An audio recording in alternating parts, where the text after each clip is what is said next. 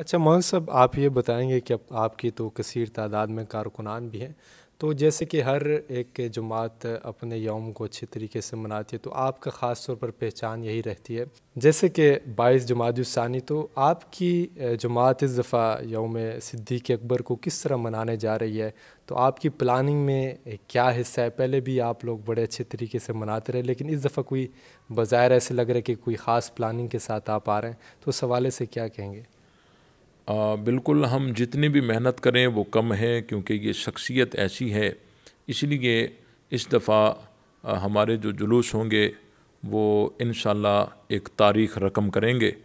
और बच्चों के जुलूस निकलना शुरू हो चुके हैं और पूरे मुल्क के अंदर अभी से सेमिनार और खलीफा बिला फ़सल के उनवान पर प्रोग्राम हो रहे हैं।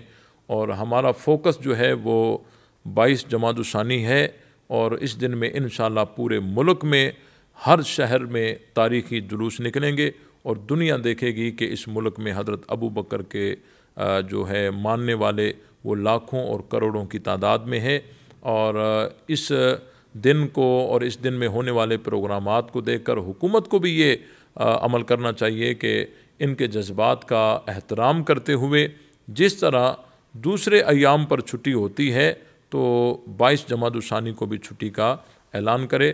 बाकी इन इस दफ़ा बाईस जमातुसानी के जो जुलूस होंगे वो तारीखी होंगे।